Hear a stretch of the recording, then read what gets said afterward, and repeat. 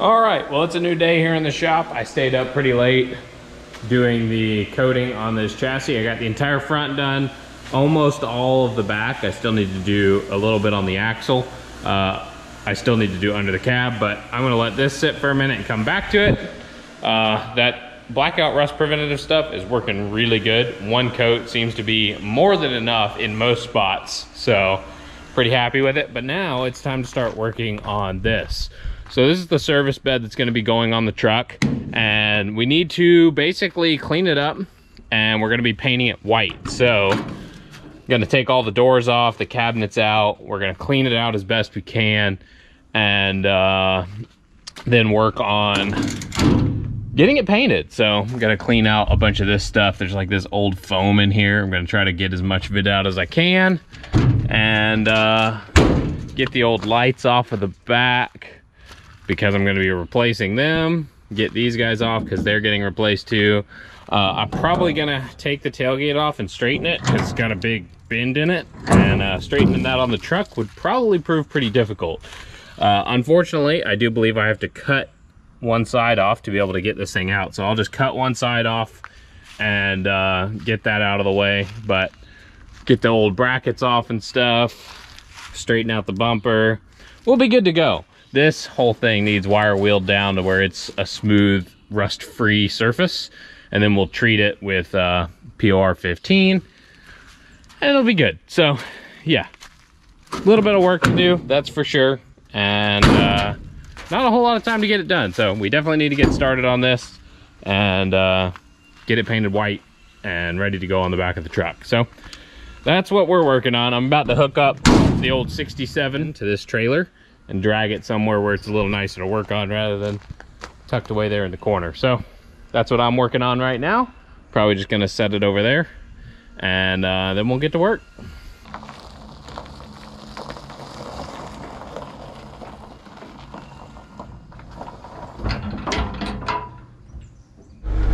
We got some three on the tree action in here. We're gonna see how this works. Seems to be pulling it, so that's what counts.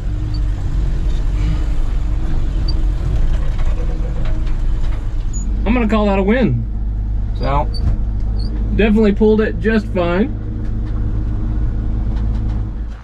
Yep, that's uh, kind of a piece of junk right now, but it'll be nice when we're done. I think, probably, hopefully. Yet to be determined.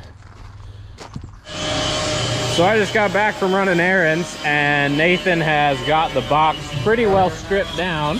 Obviously we still got to clean it out, but he's in the back wire wheeling all the rust out of it. So I'm definitely glad he's doing that job and not me. But as you can see, the floor was pretty bad, so he's taking care of it. We got all the doors off so we can sand them and paint them. Looking pretty good. I got one bolt that I got to cut off on this side because it rounded off on the inside, but other than that, it all came apart pretty easy. So, can't complain one bit. We did have a little bit of rust up here, so Gonna have to bend that back straight and then I might end up using this plate on top because it's got a couple little holes in it. So definitely need some love. Overall though, it's gonna be a good box. So I kind of forgot to film a lot of this while I was working on the bed. You can see I'm gloved up with safety glasses because I'm wire wheeling the back here. Luckily I got a fan getting rid of most of the dust so it's not blowing in my face. I was wearing a mask, but I got tired of it, so I put a fan in here blowing all the dust out. I've done a lot of the bed floor. Nathan did the front half. I've been working on this back half. So I got a little bit left to do, so I'll let you watch a time lapse of this because it might be satisfying.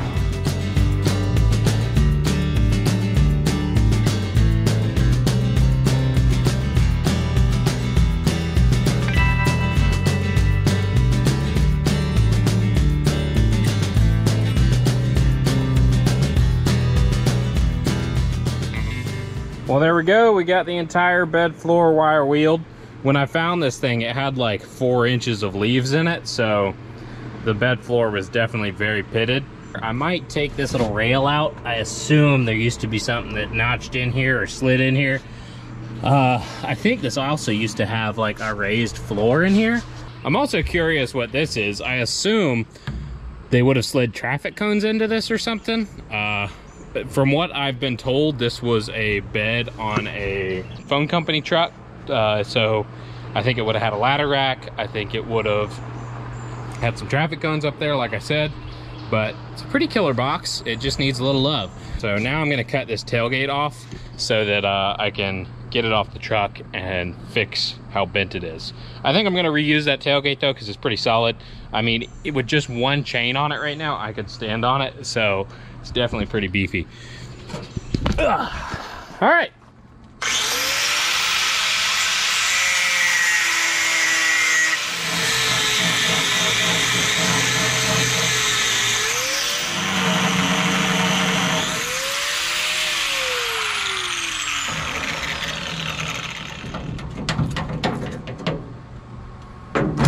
There we go, just like that.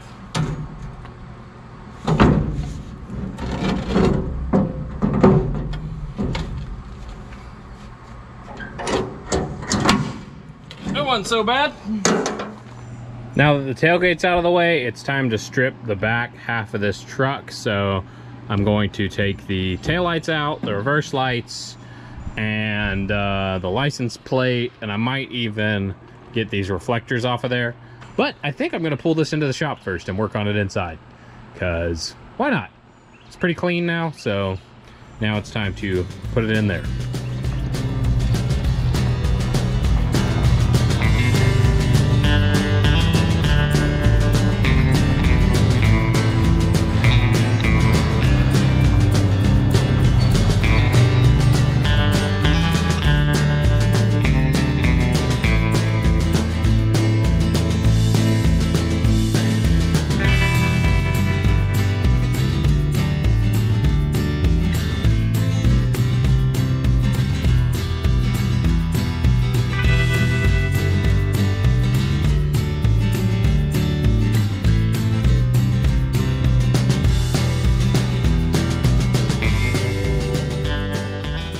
We've been working on the C20, getting a bunch of stuff done, and now it's time to take this and pressure wash it. So, gonna run over to the other house where the hose is actually hooked up and get the pressure washer out and clean this thing up before we bring it in here and test fit it on the truck, which is sitting back there on the ground again. And I I'm don't the know uh, what you're doing. custodian here. I'm emptying the trash. Well, that was much appreciated. So we got this on our janky little trailer. We're gonna drag it over to the house and uh, pressure wash it. And one strap, that's plenty, right? It's not going anywhere. So gonna bring the C10 over here, hook it up, and drag it down the road. And as always, you gotta have your supervisor watching everything. Boop. Cruising the old three on the tree 67 with the service bed in tow. Yep, this truck has been super reliable for a long time. I think it's about due for a water pump, but we're still putting her to work. Basically a tractor. So we're gonna go pressure wash this bed real quick. All right, got the pressure washer out and hooked up. Moby's in the back of the truck, making sure we're doing a good job. Let's see if I can start this while filming, because this thing's been sitting a while.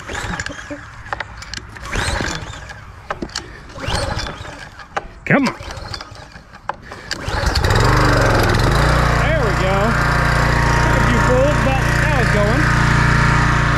So now, time to pressure wash.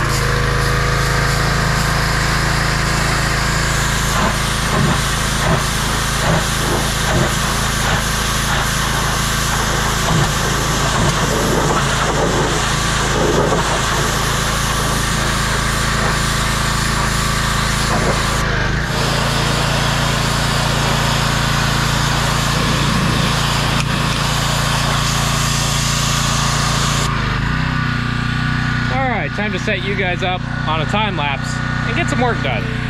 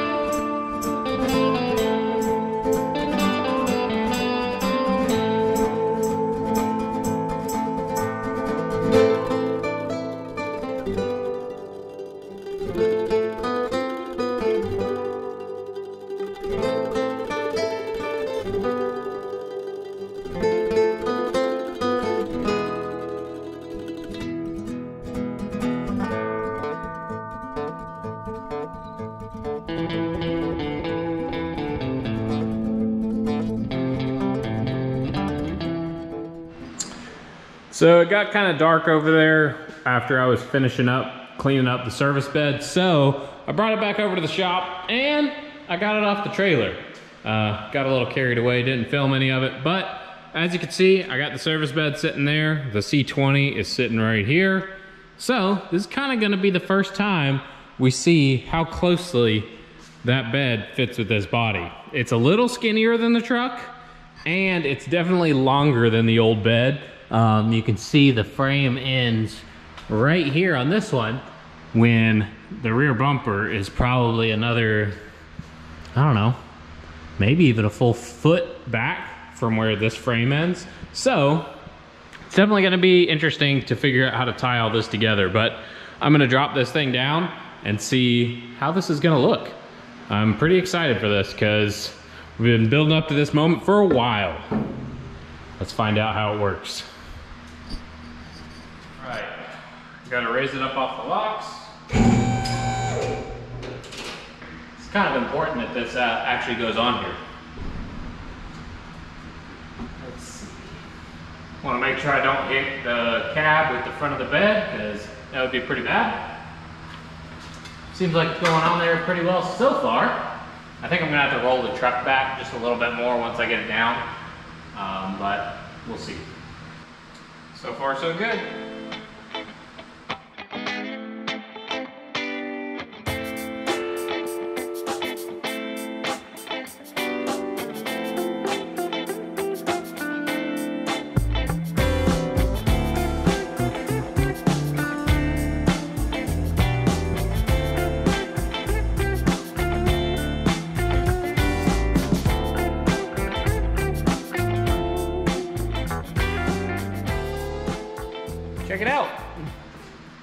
Kind of the look we're going for. So there's the truck. Well, some of the truck, the rest of it's not there. And then there's the service bed. So I think it needs to come forward just a little bit more, but I have some tabs down there that are kind of interfering with that. I think I could still slide it back a little bit right now. So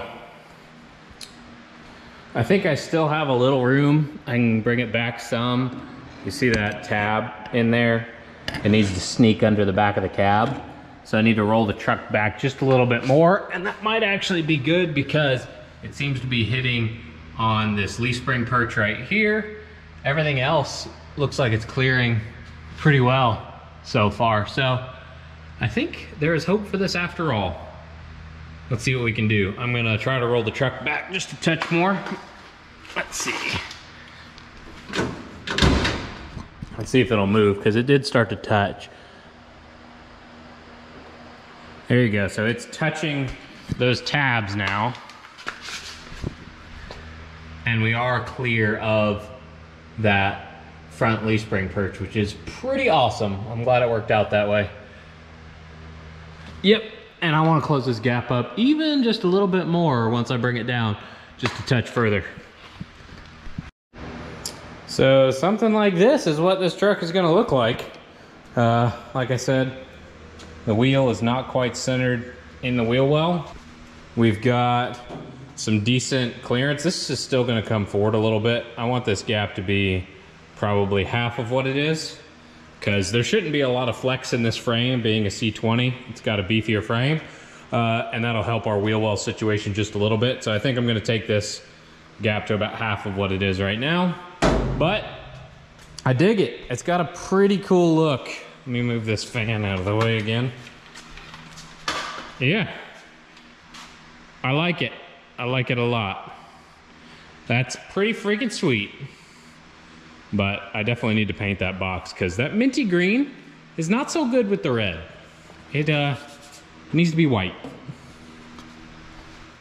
This is, uh, What are we doing? It's a struggle watching these two try to Instagram over here. it's like man in technology. Yeah, they're trying to do social media and they're too old for it while I'm filming a YouTube video. But I got Mark here from Indiana and we're putting him to work using some free labor. So uh, I, I had him remove the transmission cross member under here and now he's cleaning up the frame. He's gonna be doing some sweet patina blackout rust preventative where I haven't done it yet. He's having me do things that I can't really screw up easily. Easily. So, And it's the stuff I don't want to do. Exactly. so it's like 40 days before Power Tour, and Mark should be in Indiana working on his truck. True. I'm thinking that he might be paying it forward down here because his truck's going to break down on Power Tour, and Oh. this rescue truck is going to help him. Oh, That's Yeah. fair. I don't know that I like that. What's funny is that the trucks are in similar conditions currently. Uh, very similar. Although I do have um, a complete cab. Okay, yeah, and you know, details. But other than that, no, we are um, pretty much identical right now. yeah. Well, we may need a driver for this truck, so you know Okay. it might be okay if your truck's not done. Yeah. In other words, nothing is gonna go as planned, and it's all gonna be a complete and total fiasco the entire time. But anyway, Mark's here helping. Uh, he's from Built Shoulda Bought Garage, which is probably not the kind of person you want working on your vehicle, but I, I don't understand. it's what we got. His name implies that he should have paid somebody else to do it rather than doing it himself. There's but- no there's no implication. Yeah. He is an absolute. But I'm here working on the rear axle. I'm actually gonna have to move this rear axle back about two and a quarter inches to center it closer in the wheel well of the service bed. Looking at the brakes. The brakes are actually in pretty good condition, so I'm just gonna clean them off with some brake clean and uh, they'll be good to go. So I'm working on that. Gonna loosen up the U-bolts and slide the axle back and drill a new hole for my uh, leaf spring bolt to center up in and it'll be fine. At least that's what I'm telling myself. So we'll see how it goes. It'll be good. Yeah, Mark is optimistic, so that's always a good sign. It'll be good. Let's see how much of a mess he can make with that. Now I have a Chassis black. Hey, look, I have a drop cloth. Yeah. that I put there after you made a mess. After I made a mess. Mark is good help. It's fine. We got Picasso We're, under the truck. yeah, Picasso's under there. What's this? Art, art project.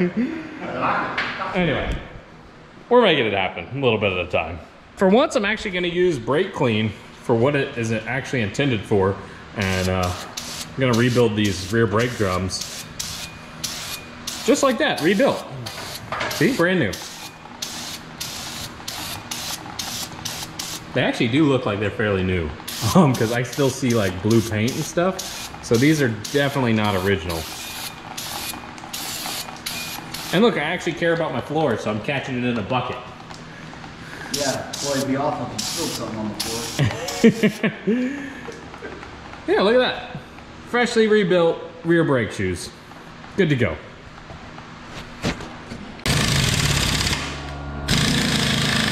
These old U-bolts are a little stubborn. But yeah, they're gonna come off of there.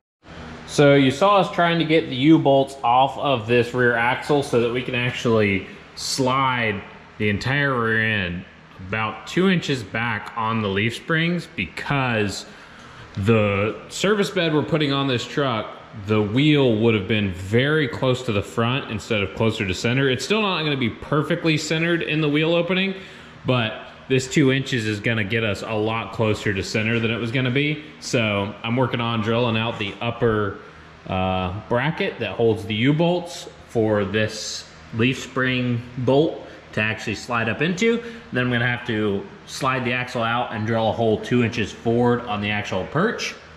And uh, that should work getting this axle two inches back without having to modify either of the hangers that are on the actual frame. So I'll show you what we're doing. I think Moby seems pretty okay with it, so we're gonna call it good enough. We'll make it work. Uh, and while I'm in here, it'll give me the chance to clean up and paint this stuff that's under here so we won't get any rust streaking down this nice black chassis. So it's kind of a win-win. Anyway, let me walk you up to the drill press and show you what I'm dealing with. So here's that upper uh, U-bolt bracket that goes on top of the leaf springs. And normally that bolt and nut came up and sat inside of this space, but because we're sliding the entire axle back two inches, I need to drill a hole here where that uh, nut and bolt has a place to come up through this. And uh, this should do the trick. So I'm gonna raise the table up just a little bit and uh, start drilling. It's always nice to have a drill press handy. That's a big chip right there.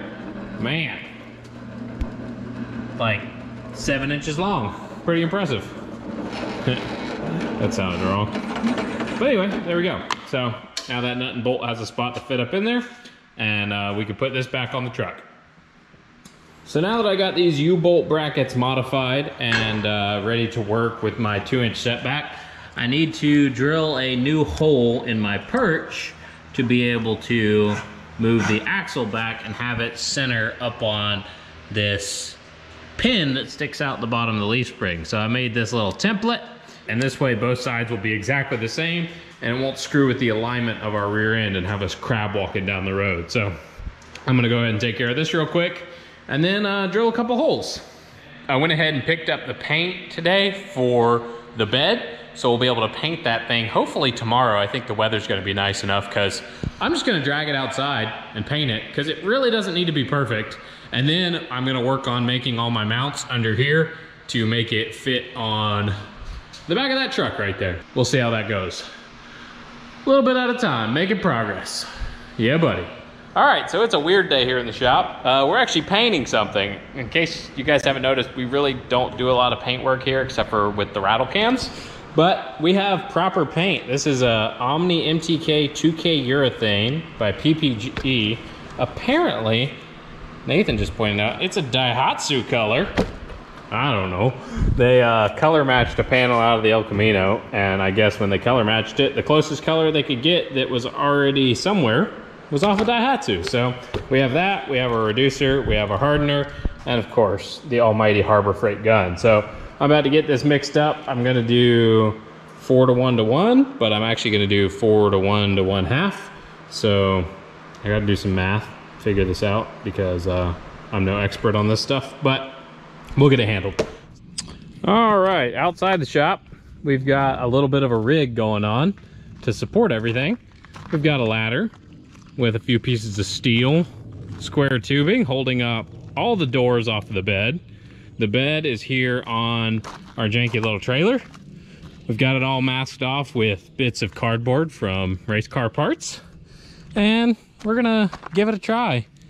See how it uh, goes with this Harbor Freight gun that I have. So I'm gonna get set up and start painting. And then I'm sure I will cut to a time lapse because it's gonna take me a minute to figure this out. I am not a painter. I will never claim to be one, but we're gonna try to make this stuff look halfway decent. Although I kind of do want the rust to come back through, so that's why we didn't treat this to perfection, because the truck is patinaed and the bed will be super bright white, and I think that might look a little weird, so we'll hope the rust comes back in a year or two. Well, here you go. We got the $20 Harbor Freight Special. I have a regulator on it and a filter because I care. And for the internet's sake, I'm actually wearing a mask. And yes, I know it's not a respirator, but it's better than nothing, right? Safety third. Um, so I'm gonna start on the back of these doors because I have no idea how this is gonna go. And uh, we're just gonna see what happens. There's paint, so I don't know. I'm just gonna go for it.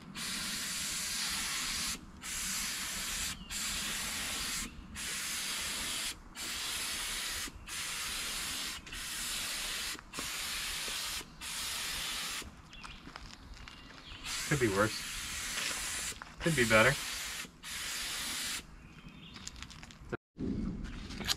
So I didn't really know what I was doing there starting out. Uh, I went and watched a YouTube video on how to set up the gun and I had my fluid level wrong as well as my pressure just a little lower than a lot of people recommend.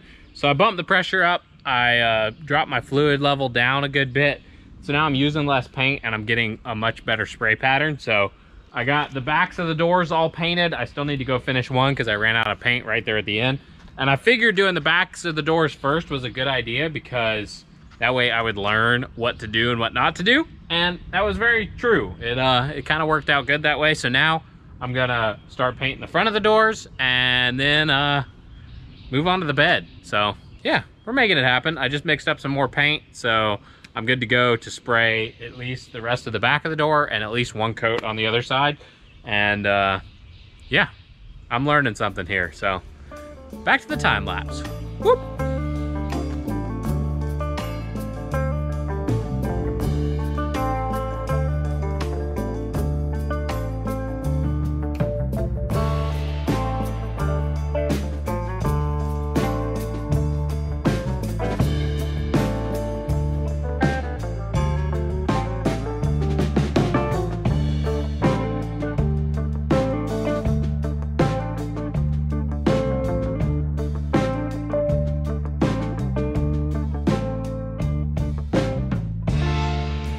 Right, so I got two coats on the doors. I think it is gonna need a third, so I'm gonna let that flash off back there.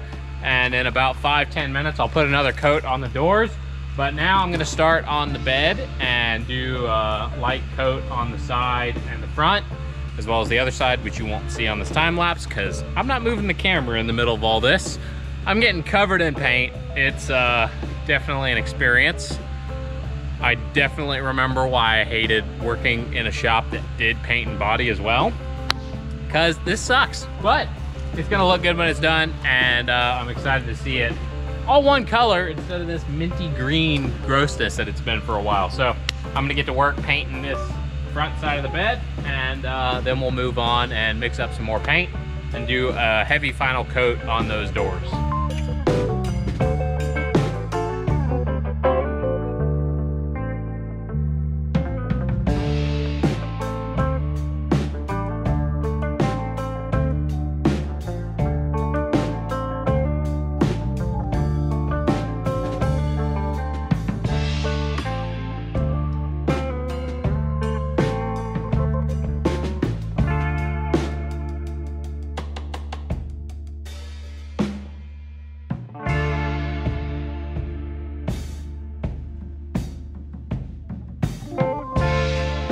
Unfortunately, uh, I couldn't paint and move the camera around, so I missed painting this side.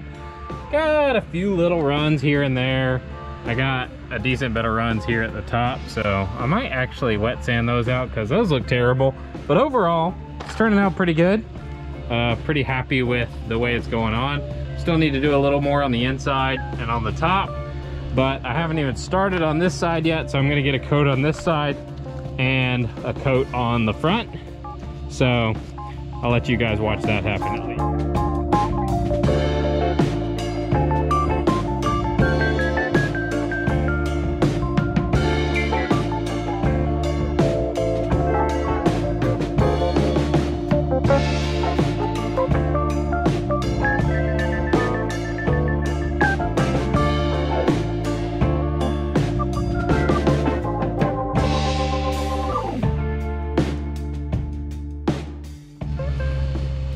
So I gotta top off my paint real quick and then I'll be doing one final coat on the entire bed. Um, and hopefully it all goes well. I don't want any more runs. I only got a couple, but you know, I wanted zero. So anyway, back to the time lapse.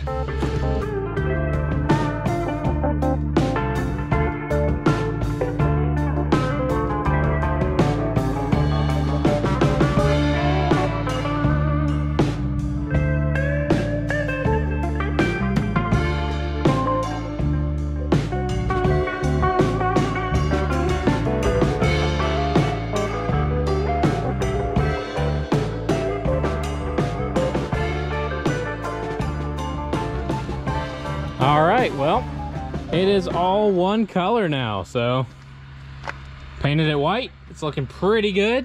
Like I said, I have just a couple runs here and there, but I bet I had runs in it from the factory, let's be honest.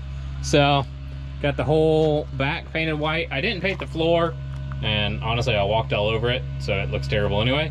But it's gonna have a rubber mat, so it doesn't matter. It's got POR 15 on it, so it'll be just fine. Uh, I think it's looking pretty good overall. So uh, I'm gonna do one more coat on this side once this flashes off. Uh, but I'm pretty pleased. So the inside of the doors aren't perfect, but I also started with the inside of the doors, so I really don't care. Uh, the outside of the doors look pretty good. So you come on this side, a little beat up, it's got a dent in it, but the outside of the doors turned out pretty nice. They are pretty smooth, pretty flat. That one's actually really glossy. And uh, yeah, I can't complain too much about this process. We'll just leave it outside. It's not supposed to rain until tomorrow sometime, so we'll just leave it out here and then uh, bring it inside when it's dry. Yeah, not too shabby. I'm a mess though. I got paint in my nose, I got paint all over my arms, my shoes are white, my leg hair is white. Should have worn pants. But it's too hot for pants. Screw that. So I totally forgot to film a little update for you guys on how the bed turned out. uh, once we actually got it back in the shop. So it's up here on the lift, sitting above the truck. And yes, the truck does fit very nicely under the bed, just barely. It's very nice to be able to stack the truck underneath the bed to be able to store them and get all of our other projects in here. Cause it's raining, so you really don't want all your projects getting wet. But the bed turned out pretty good. It is uh, far from perfect. Uh, it did turn out uh, whiter than I wanted it. I didn't want it to be quite so bright white. I wanted more of an antique white, but they didn't really match my color very well. So I'm a little annoyed by that, but at the same time, doesn't really matter. Got all the doors sitting over here curing as well. Uh, it's not perfect at all, but it is definitely more than good enough. So can't complain about that. Uh, but I haven't really been working on that since I brought it in. All I did was just pull the masking tape off. It's just sitting there waiting to be assembled. So that'll be going on the truck here in the near future. We'll see. Uh, there is lots of work left to be done and not a whole lot of time. It's always a good idea, but we're making it happen, and that's what counts.